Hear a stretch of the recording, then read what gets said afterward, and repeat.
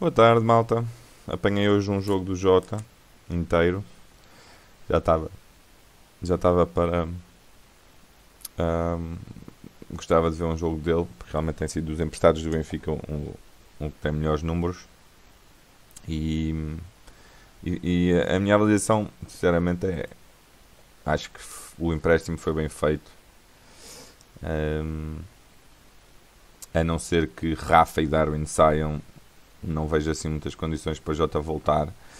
Ahm, vejo mesmo muitas dificuldades no português a encaixar neste plantel do Benfica. O Jota arrisca muito a posse de bola, sempre que a tem, é quase metade das vezes a perde. Ah, mas pronto, toda- todas as equipas precisam de um jogador destes que arrisque, que, que tente passar corpos. Ahm, e claro que às vezes basta uma, pode perder 19, mas basta uma para decidir um jogo.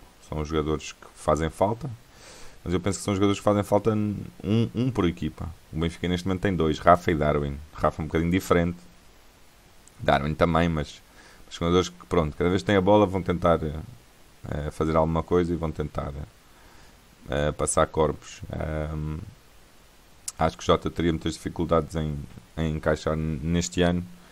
E para o ano, a não ser que saiam estes dois, não vejo assim grandes condições a Jota voltar ao Benfica.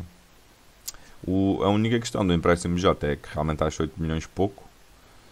Ah, devia ter sido mais a cláusula de compra, porque uma cláusula de compra não é obrigatória, né? O Benfica podia ter posto 15 milhões e depois vender por 10. Não- não- Agora, à partida, limitar que só vamos querer 8 milhões por este jogador, acho um erro.